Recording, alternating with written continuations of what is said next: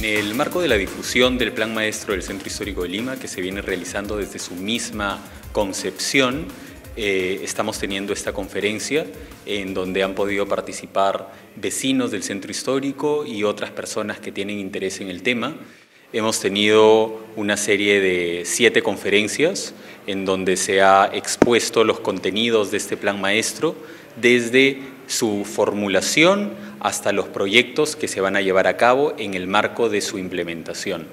Así también eh, hemos tenido la participación del reconocido arquitecto y restaurador peruano Víctor Pimentel Gurmendi, eh, a quien muchos consideran el padre de la restauración en el Perú. Vale la pena señalar que el año pasado hemos tenido diferentes conferencias en colegios, en visitas guiadas, en exposiciones infográficas, en diferentes sectores del centro histórico, precisamente para informar a la ciudadanía de los proyectos que tiene la Municipalidad de Lima en el marco de la recuperación del centro. El plan maestro del Centro Histórico de Lima busca eh, generar mejores condiciones para todos los ciudadanos, mejores condiciones de vida, pero también mejores condiciones de inversión.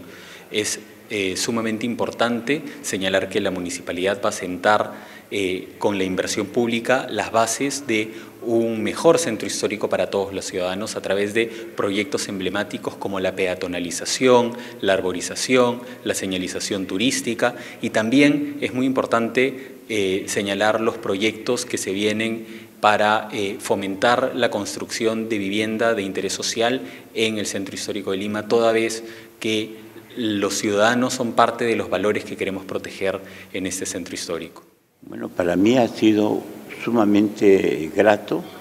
eh, ser invitado a esta reunión en la cual he escuchado algunas ponencias eh, magníficas de gente de gran valía, gente jóvenes, hombres y mujeres, profesionales,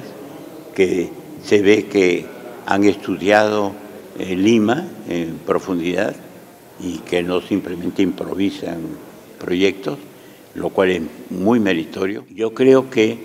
el municipio ahora está por buen camino en esta política de la recuperación auténtica del centro histórico que no es una recuperación solamente física, sino también de respeto al habitante, al ser humano que habita el centro histórico y al, que también transita por él, que son visitantes, turistas o peruanos que vienen de cualquier parte a conocer la capital.